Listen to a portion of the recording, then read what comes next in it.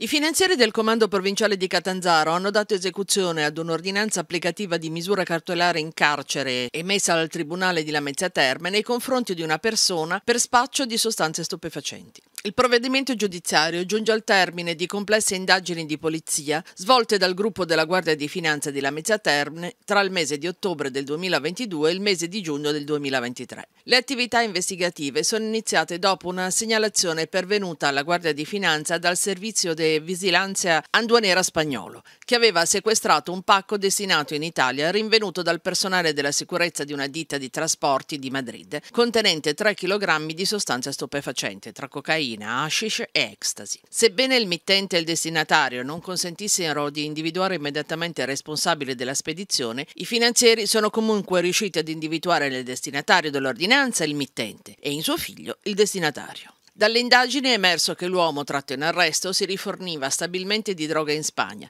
e la portava spesso con sé in Italia, tanto che una volta era stato sorpreso con oltre un chilogrammo di marijuana. Nell'ambito dello stesso procedimento penale sono stati indagati anche altri due soggetti per il reato di spaccio e tre persone acquirenti di stupefacenti per favoreggiamento personale, in quanto, in quanto queste ultime, chiamate dalla Guardia di Finanza a riferire sul loro rapporto col presunto pusher, si erano rifiutati di rispondere alle domande, aiutando in tal modo gli indagati a eludere le indagini svolte nei loro confronti. Nel corso delle attività investigative tra Spagna e Italia sono stati sequestrati circa 2,5 kg di marijuana marijuana, 71 grammi di cocaina, 16 di hashish e circa 30 grammi di pasticche di ecstasy.